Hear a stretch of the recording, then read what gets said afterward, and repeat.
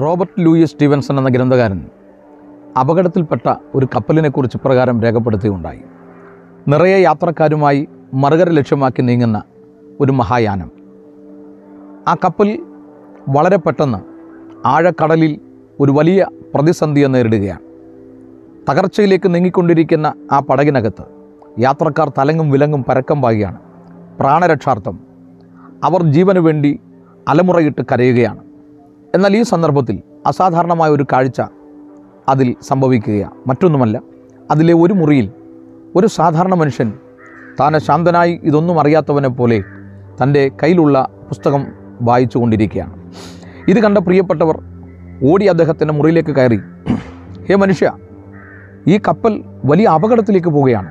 ഞങ്ങളൊക്കെ പ്രാണരക്ഷാർത്ഥം എങ്ങനെ രക്ഷപ്പെടാമെന്ന് കരുതി അങ്ങോട്ടും ഇങ്ങോട്ടും പരക്കം പാകുകയാണ് താങ്കൾ മാത്രം എന്തുകൊണ്ടാണ് ഈ മുറിയിൽ ഇതൊന്നും അറിയാത്തവനെ പോലെ ഇരുന്ന് ഈ പുസ്തകം വായിച്ചു കൊണ്ടിരിക്കുന്നത് അദ്ദേഹം വളരെ പുഞ്ചിരിയോടെ അവർക്ക് കൊടുത്ത മറുപടി ഇങ്ങനെയാണ്.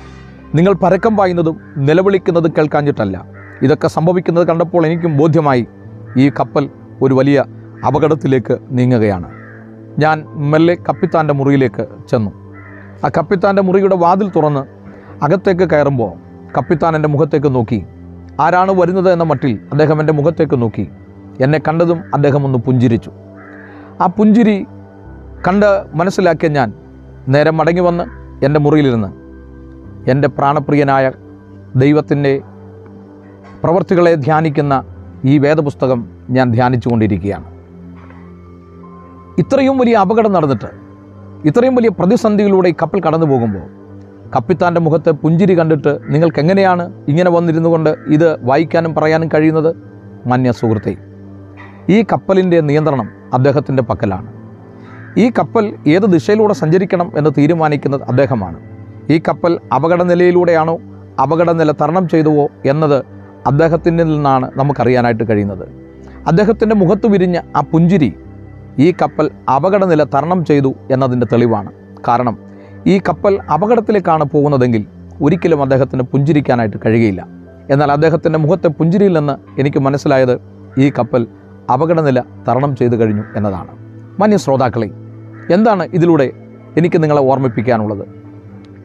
ജീവിതമാകുന്ന ഈ മഹാസാഗരം നമ്മുടെ ജീവിത നൗകയ്ക്ക് ഇത്തരത്തിലുള്ള പലവിധമാകുന്ന പ്രതിസന്ധികൾ നേരിടേണ്ടതായിട്ട് വരാം. ആഴക്കടലിൽ നാം മുൻപോട്ട് പോകുമ്പോൾ ലക്ഷ്യത്തിലെത്തും മുമ്പ് ലക്ഷ്യത്തിലെത്തിക്കാതിരിക്കാൻ ശക്തമായ കാറ്റും കോളും നമ്മുടെ നൗകയ്ക്ക് നേരെ ആഞ്ഞടിച്ചേക്കാം.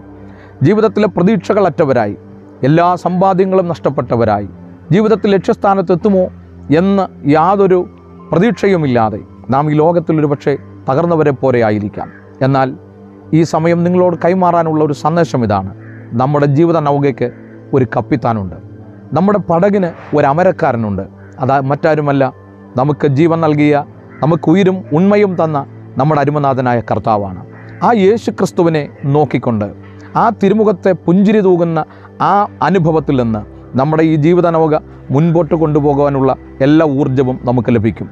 എത്ര പ്രതിസന്ധികൾ തിരമാല കണക്കെ പടകിനകത്തേക്ക് കിടിച്ചു കയറിയാലും അമരത്ത് നല്ലവനായ കർത്താവ് ഉണ്ടെങ്കിൽ നിശ്ചയമായും ഈ പടക് അക്കരെ എത്തുക തന്നെ ചെയ്യും. ജീവിതയാത്രയിൽ പ്രശ്നങ്ങളുടെ നൂലാമാലകൾ നമ്മെ തകർക്കുവാൻ ശ്രമിക്കുമ്പോൾ നല്ല അമരക്കാരനായ യേശു ക്രിസ്തുവിന്റെ മുഖത്തേക്ക് നോക്കി പ്രതീക്ഷയോടെ ലക്ഷ്യത്തിൽ എത്തുവാൻ സർവകൃപാലുവായ ദൈവം നമ്മെ സഹായിക്കട്ടെ. God bless you.